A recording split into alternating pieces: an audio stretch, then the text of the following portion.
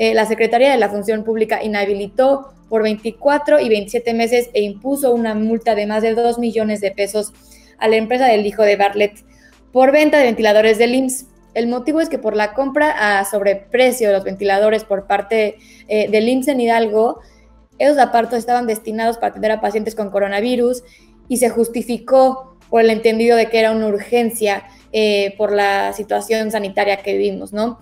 Eh, sin embargo, la Secretaría detalló que la supuesta urgencia para adquirir los ventiladores en el IMSS de Hidalgo no tuvo sustento durante las fechas de contratación y justamente ni uno solo de los 20 equipos entregados cumplió con las especificaciones técnicas contratadas. Se entregaron equipos viejos, usados y en mal estado. 11 estaban rotos y totalmente inservibles. Además, también se informó que fueron suspendidos cuatro servidores públicos del IMSS de Hidalgo que tuvieron que ver con las irregularidades detectadas en la compraventa de ventiladores. Alex, ¿qué opinas? Sabemos que esto tiene también una mala noticia en relación a que se filtraron millones de datos de empleados. ¿Por qué, ¿Por qué va por ahí?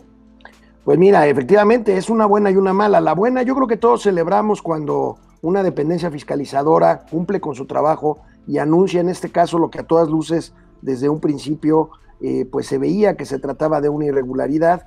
Pero aquí yo creo que aquí nos al fondo del asunto. Independientemente de que es una buena noticia, creo que sigue sin aclararse y creo que hay que discutir el tema de los conflictos de interés y creo que hay que discutir el tema del tráfico de influencias. Manuel Bartlett Díaz por más que diga que sus hijos son independientes, pues hay claras, claros reglamentos en esta materia en la cual, pues digo, yo fui servidor público y había una, pues muy eh, clara supervisión de que parientes hasta cierto grado de cercanía consanguínea o política, pues tenían que ser eh, sujetos a una revisión especial cuando se tratara de contratos públicos.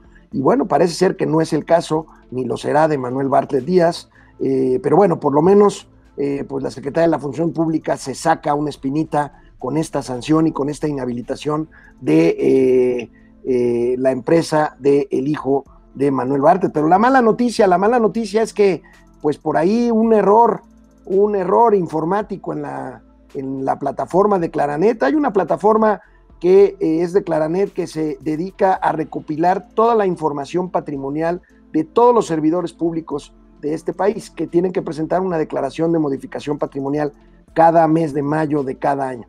Y pues parece que quedaron expuestos eh, en el Internet pues por lo menos 800 mil expedientes de igual número de servidores públicos en una clarísima violación a la ley de protección de datos personales y que ponen pues en un entredicho, eh, pues uno como servidor público siempre de buena fe eh, compartimos nuestra información patrimonial, pero es muy importante se les olvida a muchos este, que están defendiendo, ya sabes, no faltan los aplaudidores de que pues es información pública. No, no, no. La ley prevé que el servidor público puede decidir no hacer públicos sus datos patrimoniales por, así considerarlo. Y esto, pues es yo creo que un derecho un derecho correcto. El presidente de la República le ha exigido a sus principales colaboradores que hagan pública su declaración patrimonial. No todos lo han hecho, por supuesto, pero insisto, existe este eh, este eh, pequeño eh, artículo en la normatividad correspondiente que da al servidor público la opción de no hacer públicos sus datos patrimoniales si así lo desea. Claro, y se filtraron y creo que por el momento de inseguridad y tan complicado que vivimos es algo bastante grave, pero por el otro lado creo que este tema de la sanción a, esta empresa, el hijo de Bartlett, sí es una espinita que como bien dices, le saca al gobierno eh, federal y reduce un poco la tensión y la incertidumbre tan fuerte que hoy está viviendo. Pero hay que tener en cuenta que el hijo de Bartlett no es el único que se ha aprovechado de la pandemia para hacer dinero. La dependencia dio a conocer que ha supervisado más de 2.000 procesos de contratación relacionados con la atención eh, de la emergencia sanitaria por coronavirus en el sector salud. Es una lástima que la gente se esté aprovechando de este momento tan vulnerable para hacer eh, dinero y negocio. ¿Qué opinas, Amado? ¿Tú crees que con esto se acabó el influyentismo? ¿Ya no hay intocables? ¿Será una señal de que el gobierno comenzará a demostrarnos que la justicia ya no se compra?